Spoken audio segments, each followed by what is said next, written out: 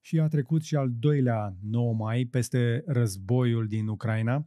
Acolo ostilitățile continuă, invazia rusească nu s-a oprit, dar ucrainenii se pregătesc de contraofensiv.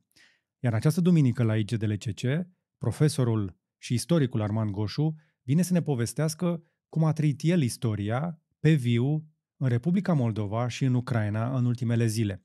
Profesorul Goșu a fost alături de supraviețuitorii, dar și de luptătorii din Ucraina, unde și-a petrecut Paștele, apropo, la Kiev, dar a fost și la protestele de la Chișinău pe care le aștepta și a vrut să vadă cu ochii lui cum arată oamenii care au ieșit pe stradă să susțină niște idei care noi credeam că sunt de mult depășite.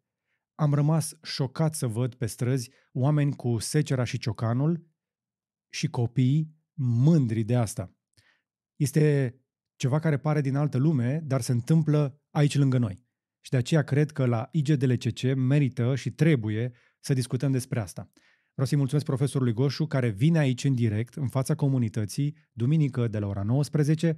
Te încurajez să-ți pui o notificare, intră undeva pe YouTube și apasă pe notificarea aceea pentru live și vină să urmărești live-ul împreună cu noi și să ne adresezi și întrebări.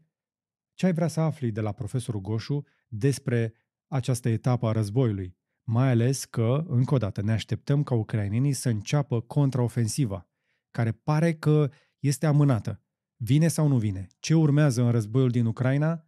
Oricât de departe vi se pare conflictul acesta, suntem datori să știm ce se întâmplă acolo, pentru noi, dar și pentru ei.